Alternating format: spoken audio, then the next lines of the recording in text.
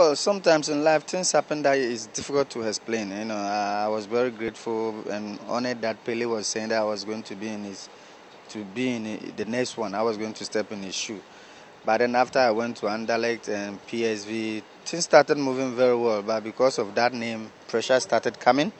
And I mean, at home was also problems with, you know, family and all that also as a kid when this thing comes you know you don't know how to handle it. If it's now maybe i can able to to manage it. But at that time i was so young that i could not manage the two.